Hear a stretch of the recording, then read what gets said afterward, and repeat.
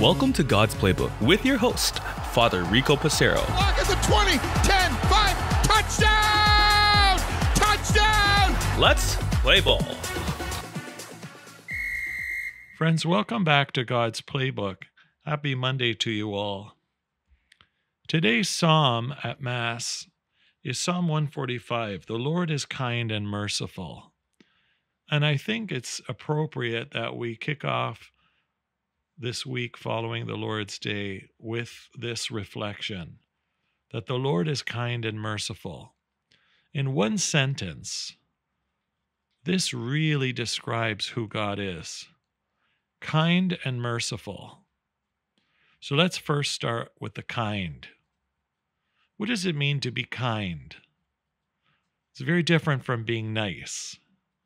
Nice and kind are different things. I think nice is so generic, but kindness comes from the heart. To be nice, you could pay someone to be nice. I wonder if you could actually pay someone to be kind, but to me, there's a difference. And God is kind. What does it mean to be kind to someone? Well, when we're kind to someone, it talks about our attitudes or behaviors towards them. It isn't reciprocated. When I'm kind to you, you might be kind back to me, but my kindness to you should be separate from your kindness to me. So when we say that the Lord is kind, that suggests that he is kind to us. This is not attached to the level of kindness we give back to God. We, in turn, try to be kind to God, but this is his first move. The Lord is kind and merciful, so the Lord is kind to us first. And what does kindness entail for the Lord? Well, number one, that he thinks of you. When you think about that, God loves you so much that he's currently thinking of you. If he stopped thinking about you or me, we would cease to exist. So he's kind in the fact that with 7 billion people currently breathing oxygen, let alone everyone that has come and everyone that will come into being, everyone in heaven, hell, and purgatory, God right now is thinking about you. Think about the implications of that. When somebody says, Happy birthday, you might say to them, Oh, thank you so much. That's so kind of you to remember my birthday. Or they might send you a card. Or somebody holds the door for you. Thank you so much. That was so kind of you. So thoughtful. So, kindness is something that is exhibited in a relationship and then hopefully understood or noticed.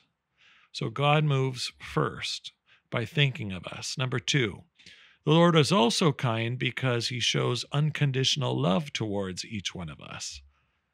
Say, Father, this seems pretty basic. Why are we going through this?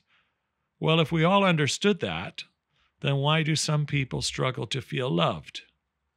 If we all understood this, then why would we ever sin? Because we never want to disappoint God, right? So it's important to unpack this truth. So when we think about his unconditional love for us, again, there's nothing I can offer to God to make him actually love me.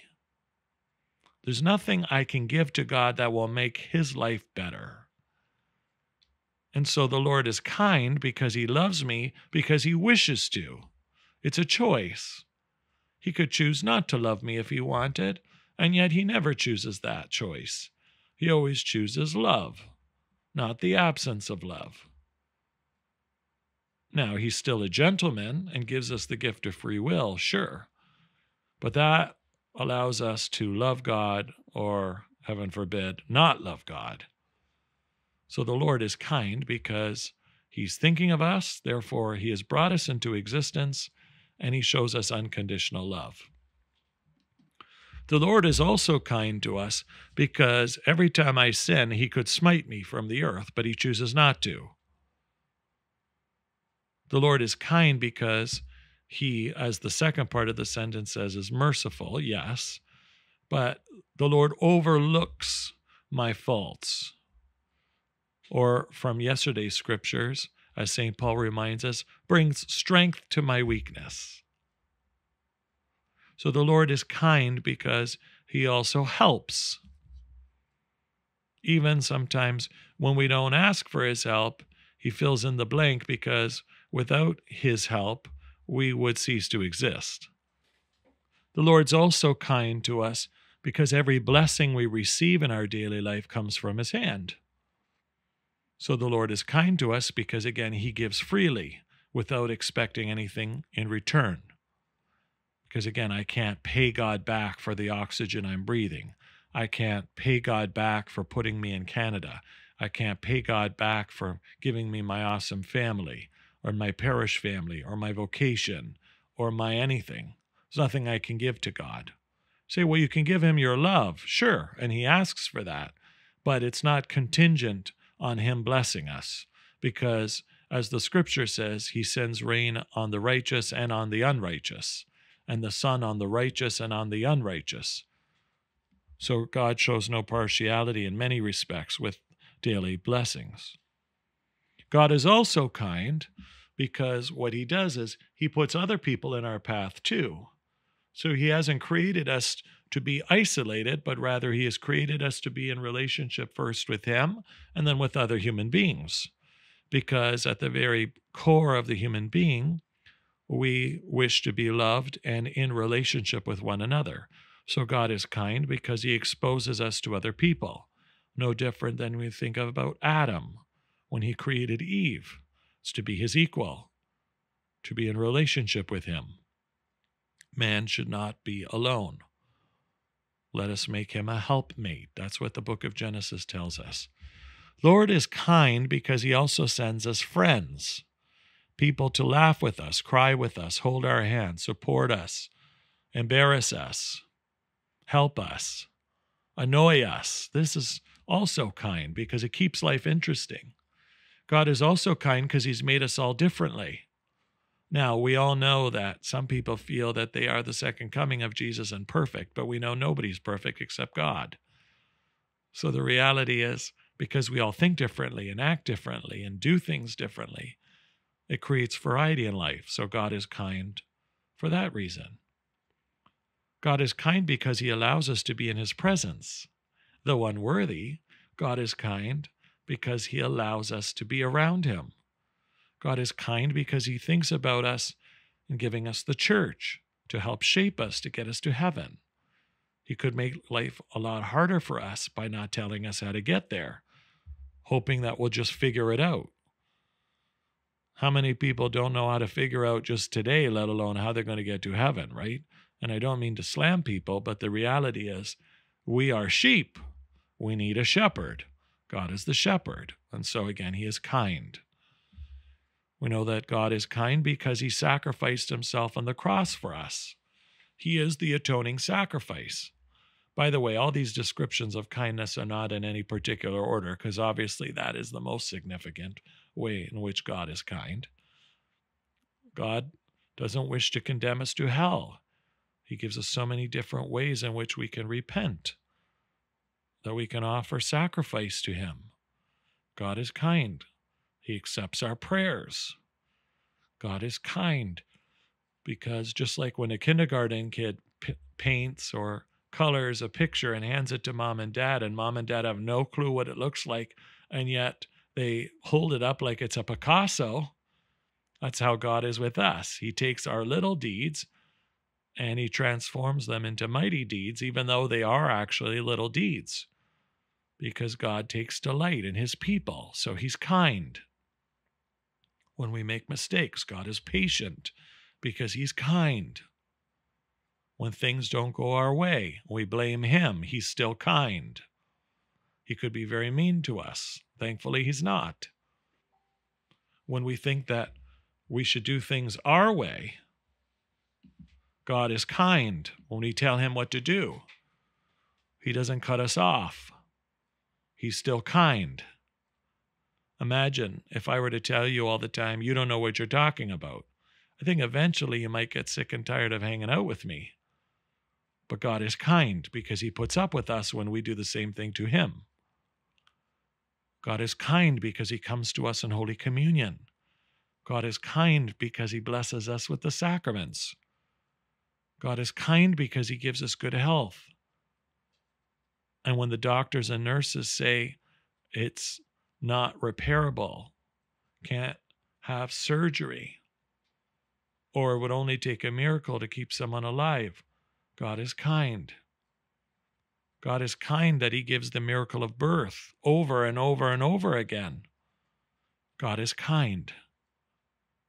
Friends, we could be here for the next hundred years talking about all the different ways that which God is kind. I want you to focus on how you think God is kind in your own life and how God has blessed you in so many ways with an attitude of gratitude. We need to start being kind to Him. Let's skip over to merciful. God's mercy should speak for itself, but can never be outdone in speaking of it because His mercy has no end. Again, this doesn't mean we should just take advantage of His mercy, and yet He's merciful. He's merciful to us sinners, He's merciful to all sinners. He's merciful to you as an individual, to me as an individual. He's merciful to us as a collective. He's merciful to the church. He's merciful to the agnostic or the atheist. He's merciful to the faiths that are not practicing and worshiping Him. God is troubled by our sin, but God doesn't look at our sin and damn us. God gives us the opportunity to change and to be converted, just like the people in sacred scripture. They had an opportunity to repent. If they didn't choose to repent, then there's a consequence. So God is merciful to us, but He's also just. And if at the end of the day we choose not to love Him and serve Him and live according to His commandments, well, we've made our choice. But we can't blame God for not being merciful. Kind, yes, but merciful and kindness needs to go together. That's why the scripture unites the two in today's phrase from Psalm 145. The Lord is merciful. How many times have we as individuals, I know myself at the top of the list, have received God's mercy though unworthy to? God is amazing. I go into confession as a sinner I come out of the confessional forgiven. I go in deserving hell. I go out receiving his mercy. I go in frustrating him, disappointing him.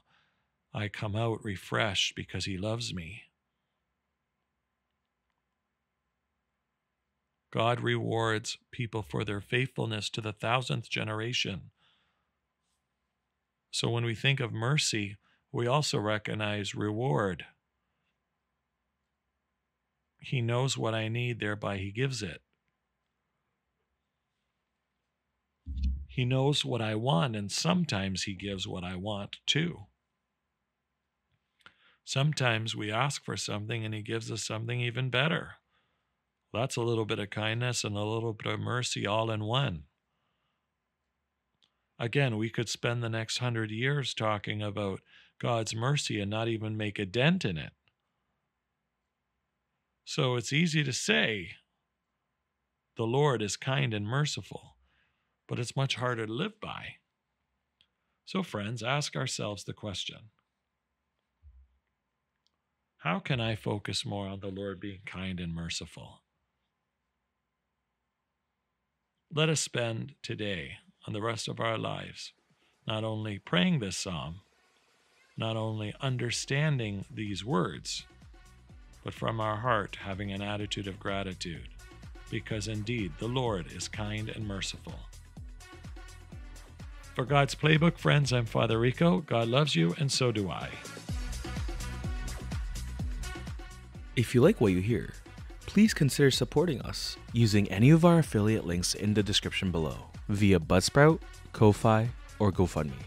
Thanks and God bless.